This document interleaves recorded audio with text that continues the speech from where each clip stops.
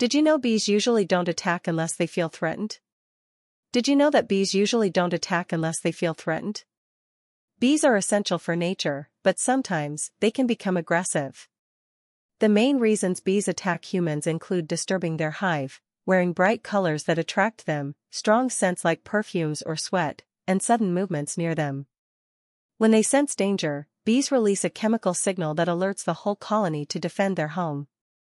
To protect yourself from a bee attack, always stay calm and avoid making sudden movements. If a bee is flying around you, don't wave your hands or try to swat it away. Instead, move away slowly without panicking. It's best to avoid wearing floral-scented perfumes or bright-colored clothing when spending time outdoors, as these can attract bees. If bees start attacking, cover your face and seek shelter immediately. Running might provoke them more, so walking away carefully is the best approach. Remember, bees play a crucial role in pollination and maintaining our ecosystem. Instead of fearing them, we should learn how to coexist safely.